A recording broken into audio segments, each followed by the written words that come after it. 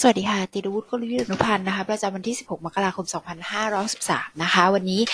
เรามองในส่วนของ Safety Index Future นะคะ S50 S20 นะคะ มีแนวโน้มที่จะเปิดบวกขึ้นไปก่อนนะคะ แต่ว่าเรามองว่าน่าจะยังติดแนวต้านนะคะ เดิมบริเวณ 1,070 ถึง 1,075 จุดนะคะ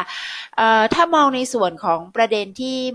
น่าจะเป็นแรงหนุนให้มีการปรับตัวขึ้นไปได้ก่อนนะคะ เราก็มองว่าเป็นเรื่องของการลงนามข้อตกลงการค้าระหว่างสหรัฐแล้วก็จีนนะคะ ที่ก็ดูเหมือนว่าจะยัง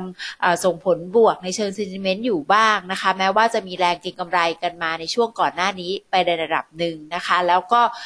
นักทุนยังมีความเคลือบแคลงสงสัยในเรื่องของ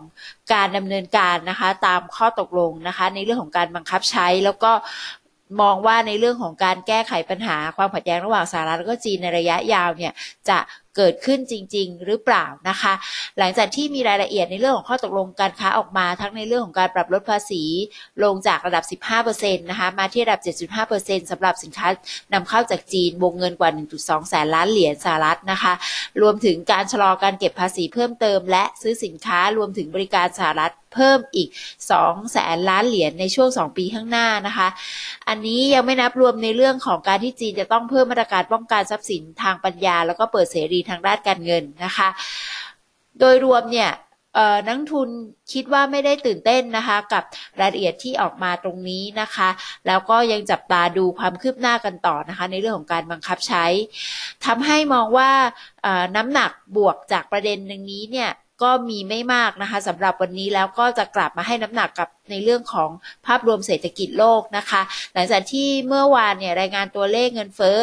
จากอังกฤษนะคะ ดูเหมือนว่าจะชะลอลงในรอบ 3 เดือนนะคะ ขณะที่ยังมีตัวเลขเศรษฐกิจหลาย ๆ ตัวทั้งจีน แล้วก็สหรัฐที่จะประกาศออกมานะคะ นอกจากนี้เองเนี่ยตลาดหุ้นบ้านเรายังมีแรงกดดันจาก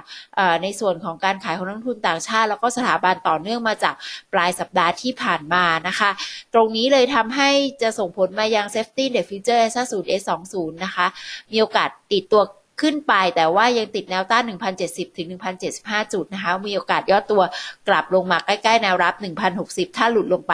1,055 จุดนะคะ ดังนั้นวันนี้เราแนะนำให้ trading short ในกรอบ 1,060 ถึง 1,075 นะคะ ส่วน day trade open short 1,070 target 1,055 stop loss ถ้าหากว่าผ่าน 1,075 จุดขึ้นไปนะคะ ส่วน Gold Online Futures นะคะ เรามองว่า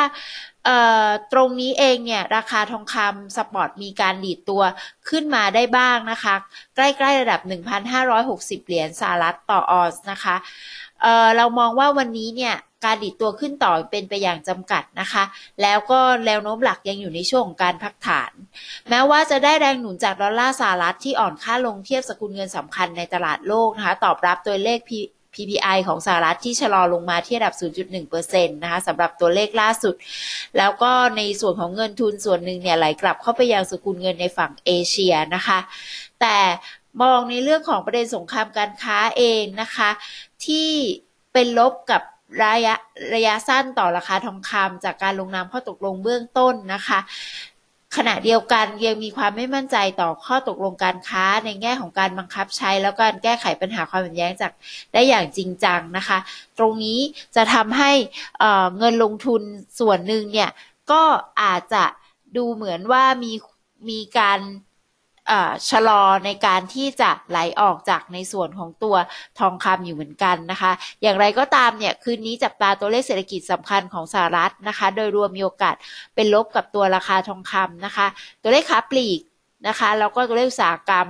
นะคะ จากเฟดฟิลาเดลเฟีย ตรงนี้นี่มีแนวโน้มจะปรับตัวเพิ่มขึ้นนะคะทำให้ราคาทองคำมีโอกาสที่จะย่อตัวลงมาอีกรอบได้เหมือนกันนะคะ Trading Short ในกรอบ 1560 ถึง 1570 นะคะ ส่วน Trend Trade Hold Short นะคะ 1565 Target 150 Stop Loss หากว่าผ่าน 1570 ขึ้นไปนะคะ